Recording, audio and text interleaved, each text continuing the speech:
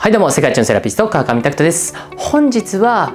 セラピストオンラインアカデミーの応用主義ですね。首肩周りのスペシャル施術をやっていきたいと思います。今日はですね健康虚筋という筋肉をお伝えしていきたいと思います。健康虚筋ですね、まあ、これね結構肩こりって主にね僧帽筋がね、えー、こう一番の要因だって言われてるんですけどもうその次にね肩こりの要因になってるって言っても過言ではないですね、えー、大事な筋肉になります。はい。では早速健康胸筋ですね。どこにあるかというのをねやっていきたいと思います、えー、健康虚筋ですね、えー、どこにあるかと言いますとちょっと分かりやすく今肩甲骨出してます、えー、肩甲骨の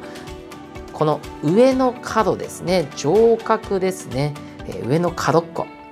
上の角っこですね。そこから、え頸椎の凹凸筋に付着している筋肉ですね。この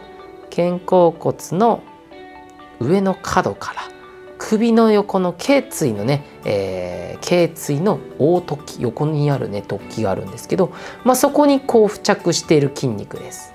ということでこの肩甲骨のね内上角ですね、まあ、内側の上角のところから首のね横の頸椎1番から4番の大突起に付着しているのが肩甲虚筋という筋肉になります。まあ、つまりねこの部分からこの首の根元までにねついてる筋肉です。この筋肉どういう筋肉かと言いますと肩甲骨をね引き上げる肩甲骨を引き上げる筋肉になります。はい。でこの肩甲骨を引き上げる筋肉がねやっぱりこうこれもねパソコンのしすぎとかやっぱり姿勢が悪くなってくるとだんだん肩をね上げることとかこういう動きが少なくなってきて、えー、固まってしまって首肩が重いとかなんかこう首やった時に突っ張ってしまって筋肉が動きにくいなみたいな、ねえー、そういったことになってしまいます。なのでこの辺りの、えー、健康虚筋をねほぐすアプローチっていうのを知っておくと首肩ね肩こり首が重い肩が重いっていうね首から肩にかけて疲れてる人へアプローチができます。で結構ね肩甲骨肩周り疲れてますっていう人が、えー、お客さんの中ではめちゃくちゃ多いと思うんですけど首から肩にかけてがっていう人もねすごく多いです。ねセラピスト経験ある方だったらね皆さんこういった経験はあると思うんですけど首から肩にかけてがすごく重いんですってね言われたらねこの健康虚筋にアプローチをしていくとすごくいいので是非やってみてください。では早速手技をやっていきたいと思います。ではやっていきたいと思います。まずですね肩甲骨。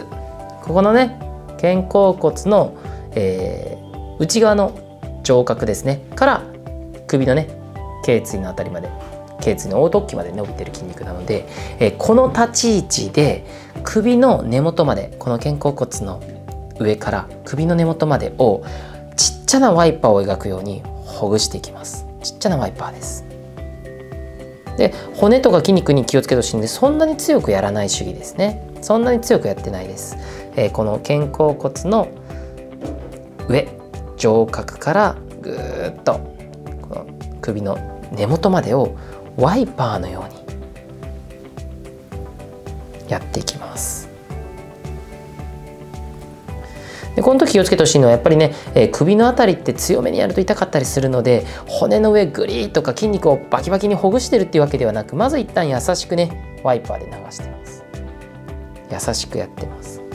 骨とか筋肉とかに強くアプローチしてしまうと首のね頸椎とかがね横にあまり強い母子で合わせてグイってやってしまったりとか、えー、やってしまうと痛いので、えー、そこはね気をつけてください。首周りってすごく大事なポイントなので柔らかく柔らかく。